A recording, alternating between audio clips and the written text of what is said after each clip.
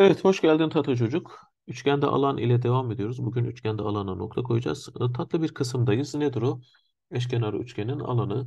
Çok fazla uzatmıyorum mevzuyu. Fakat videoyu izliyorsan, e, henüz abone olmadıysan, abone olursan e, seviniriz deyip startı veriyorum. Eşkenar üçgen dediğimiz üçgen kendisini çok sevdiğimiz tatlı, minnoş, tontiş bir üçgen. Bilader bütün kenar uzunlukları birbirine eşit. Burada A, A, A demiş. Bütün iç açı ölçüleri birbirine eşit ve 60 derece. Benzer şekilde bütün dış açı ölçüleri birbirine eşit ve 120'şer derecedir.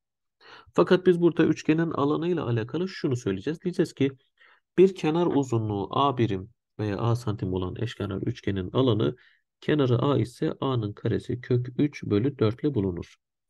Benzer şekilde şöyle bir formülüm daha var. Her ne kadar çok kullanılmasa da çok keyifli olmasa da eğer ben eşkenar üçgene ait yüksekliği biliyorsam ki eşkenar üçgenin bütün yükseklikleri birbirine eşitti hatırlayacak olursan bunu da h kare kök 3 bölü 3 ile de ifade edebiliyorum. Aynı alanı lüzumu var mı? Aslında yok.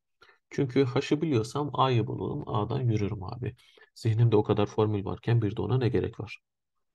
Bana diyor ki ABC bir eşkenar üçgen. Neredesin abi? Buradayım. ABC. Çok enteresan.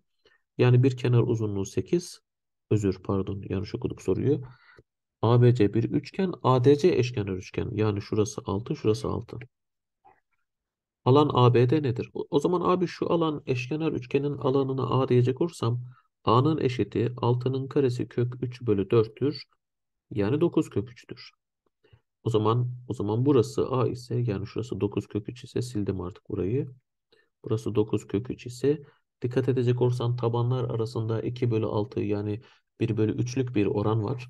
O zaman alanları arasında da 1 bölü 3'lük bir oran var diyeceğim. Ve benden istenen alanın 9 kök 3 bölü 3 yani 3 kök 3 olduğunu söyleyeceğim tadı çocuk. Ve şu alanın 3 kök 3 e, santimetre kare olduğunu söyleyeceğim. Gene geliyorum yan tarafa. ABC diyor ki bir dik üçgen 90 dereceyi gördüm. DBC eşkenar üçgen. O zaman şurası da tık tık. Diklik var. Eşitliği vermiş. Okey. AC 4 kök 2. Şimdi burada tatlı bir şey gördüm. Ne gördüm? Şunu. Dikkat edecek olursak dik üçgen olduğunu söylediği şu üçgenin sonradan kenar eşitliklerini yazarak aslında bir ikizkenar üçgen olduğunu söylemiş oldum. O zaman burası ikizkenar dik üçgen. E bu ikizkenar dik üçgenin hipotenüs uzunluğuna kaç demiş? 4 kök 2. O zaman demek ki bunların kenar uzunlukları, dik kenar uzunlukları 4'e 4. Okey. Alan DBC nedir? DBC'nin bir eşkenar üçgen olduğu bilgisi var. Ve kenar uzunlukları 4, 4, 4. O zaman alanını yapıştıracağım hemen onun. Alan DBC diyorum ki cup cup eşittir. 4'ün karesi kök 3 bölü 4. Yani ne yapacak? 4 kök 3. Güzel. O zaman devam ediyorum sıradaki soruyla. Şimdi daha önceden ifade etmiştik. Tekrarlayalım.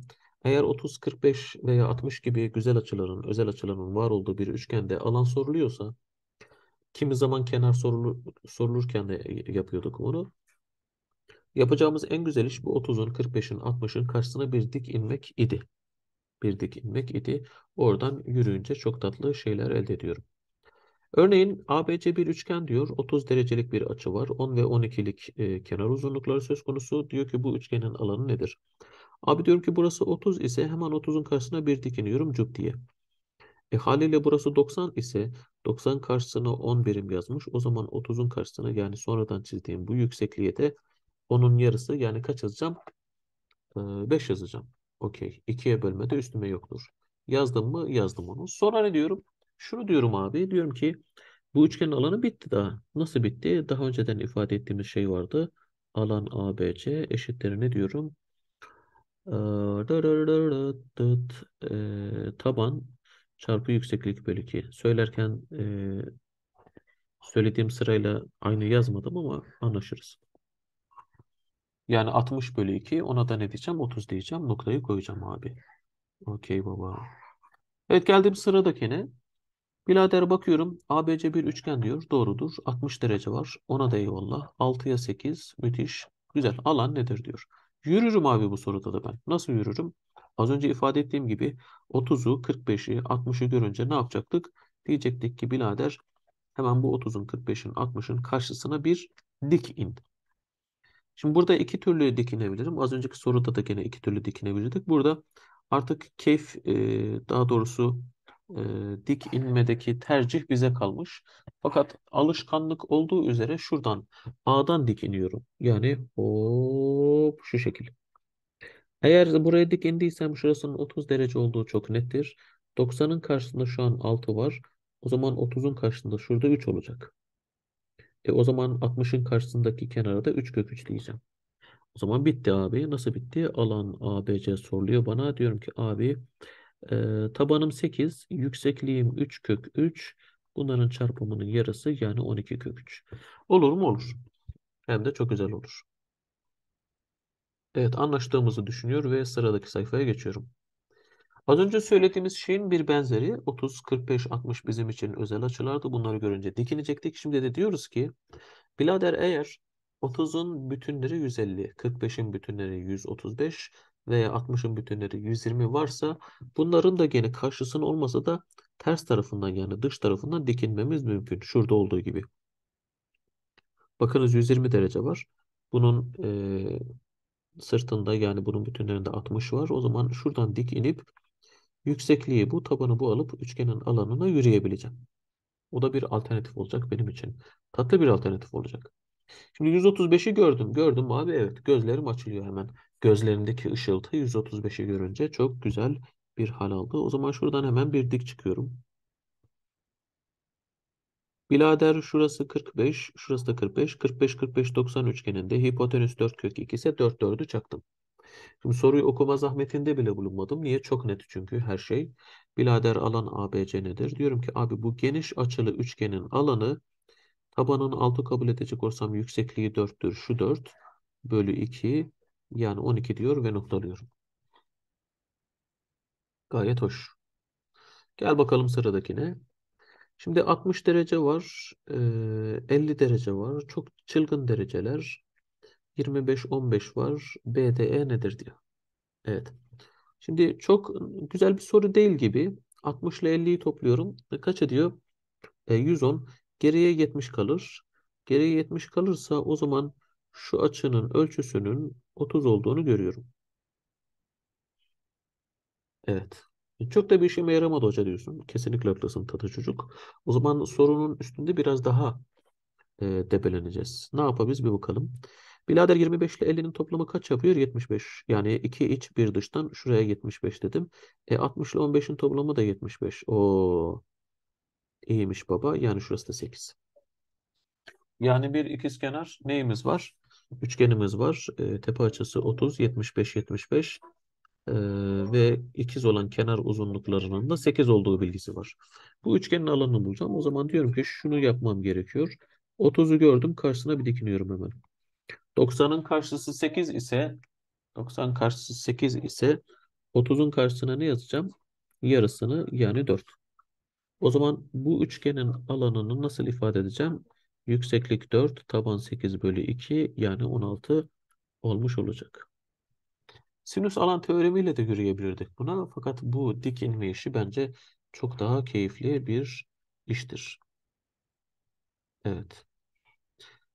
Şöyle güzel bir e, özelliğim daha var. Diyor ki eğer iki üçgenin iki tane açısı ortak ise ve bu açıların komşu kenarları belli ise bunların alanlarının oranını şöyle yazabilirim. ABC üçgeninin alanı A çarpı C bölü DF'nin alanının oranı e, D çarpı F'dir diyor. Aslında bu da güzel bir sinüs alan teoremi uygulamasıdır. O şimdilik dursun. Özellik aklımda yapıştırıyorum soruyu. Evet birer üçgen verilmiş. Tamam abi güzel bir kelebek şekli. 4, 6, 3, 5 de var. Ee, buna göre alan oranı. Şimdi abi şu açının ölçüsü şu açının ölçüsüne eşit midir? Evet. O zaman diyorum ki ABE üçgeninin alanının şunun alanına oranı 5 çarpı 6 bölü 3 çarpı 4'tür. Sadeleştir 2. Sadeleştir 2. Yani 5 bölü 2. Olur mu? Olur. Çok da güzel olur. Geldim 8'e. Alan ABC nedir? Evet gene tatlı bir soru. Şimdi burada neler yapabiliriz bir bakalım. Bilader şurası 4. Şimdi benzerlik yürür burada ama henüz seninle biz benzerlik demedik. Dolayısıyla benzerlik kullanmadan az önceki özelliği kullanarak halledelim. Şu üçgenin alanını rahatlıkla bulabilirim. Dik üçgen o. Dik kenarlar çarpımının yarısı yani 4 çarpı 3 bölü 2 6.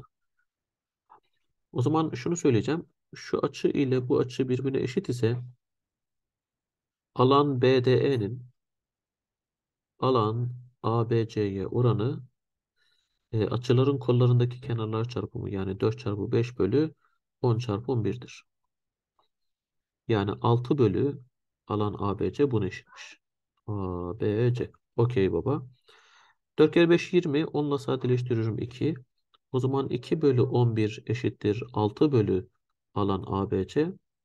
Buradan gerekeni içler dışları yapacak olursan 3 katını olduğunu görüyorsun. Alan ABC'nin 11 çarpı 3 yani 33 olduğunu görürüz. Benzerlikleri de çözmek sana kalsın ellerinden öpsün. Gerisini halledersin diye düşünüyorum. Evet, mevzuyla alakalı nelerimiz var? Ee, karma örneklerimiz var. Ne yapabiliriz bakalım. 120 derece ve açıortayları görüyorum. 3, 4, evet alan nedir diyor. Ee, ne yaparız birader? Eğer aklına gelirse şöyle bir özelliğim vardı. Nasıl? İki iç açıortayın kesiştiği şu E noktasında oluşan şu açının ölçüsü 90 artı 120 bölü 2 idi.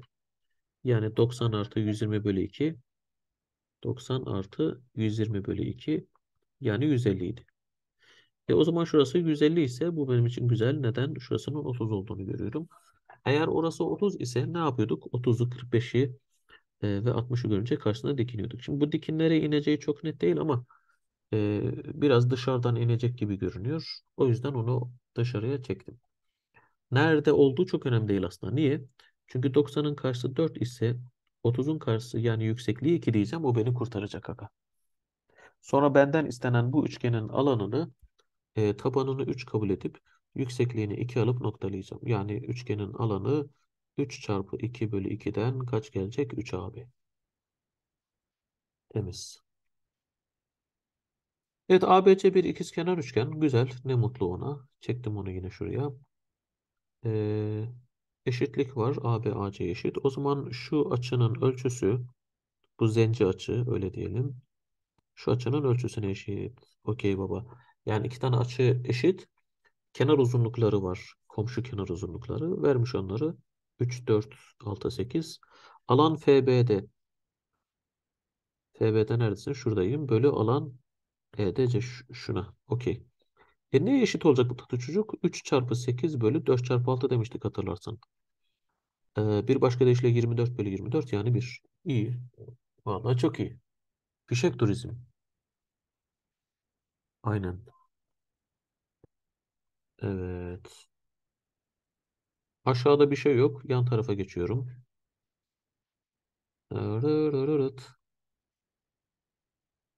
Bir adet tatlı soruyla muhatabız.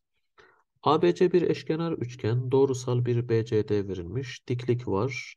12, 8. Şimdi eğer ben ABC'nin eşkenar üçgen olduğu bilgisine sahipsem ve şurası 12 ise haliyle şuraya 4 kalacak. 1. 2. Eşkenar üçgen ise açı 60, haliyle açı 30. Niye? 90 var burada. 90 karşısı 8 ise 30'un karşısı ne olacak? 4. Ee, sonracığızıma, sonracığızıma başka ne yazabilirim? Abi şurası da 60. Haliyle burası 90 olduğu için şurası da 30. E burada 30 abi. Çünkü şu şunu eşit. Yani burası da 4. Alan ECD. Neredesin abi? ECD. Buradayım diyor. Bölü alan ABC. ABC. Güzel. Şu şekilde yürüyeceğim. Diyeceğim ki abi kırmızıya geçiyorum. Şu alanı S dersem hop şu alanı 3S demem lazım. Niye? 4 bölü 12 oranından. Okey baba. Sonracığızıma şu kenar uzunluğu daha doğrusu taban uzunluğu 4. Şu taban uzunluğu 8 olduğundan buraya 3S diyen adam şuraya 2 katını yani 6S gömecek. 6S gömdü bunu da. Evet iPhone 6S bir zamanların kral telefonu idi. 6S. Ee, ECD alanına biz S dedik. Hop. Bölü ABC'ye ne demiş olduk? ABC 9S. O zaman bu oran nedir baba? 1 bölü 9. S'in 0 olmayacağı çok net. Dolayısıyla bu oran kesinlikle 1 bölü 9'dur.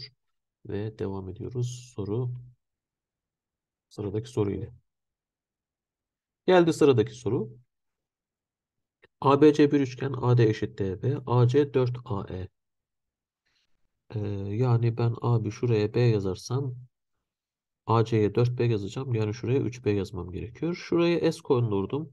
Gene şuradan bir cızıktırıyorum. O zaman buraya da S konduracağım. Niye? Şu şuna eşit. Yani buraya toplamda kaç S yazmışım? 2S. Nereye? Şuraya. Şimdi taban uzunluğu B olan yere 2S yazdıysam taban uzunluğu 3B olan yere bunun 3 katını yani 6S yazacağım. ADE alanı ki biz ona S demiştik. Sorunun 3 olduğu, daha doğrusu soruda oranın 3 olduğu söyleniyor. Tüm alan ne olur? 8S yani 24. Fişek turizm. Evet, ümit ediyorum anlaşmışızdır. Üçgende alana böylelikle nokta koyduk. Önümüzde açıortay ve kenarortay gelecek. Ardından 3 farklı video yapacağız benzerlikle alakalı. Ve açı kenar bağıntıları deyip üçgenlere nokta koyacağız tatlı çocuk. Sonra dörtgen, e, çember, daire, zart, zurt devam edecek. Beğenip paylaşıp abone olmak sende deyip burada noktalıyorum. Sağlıcakla kal, iyi çalışmalar.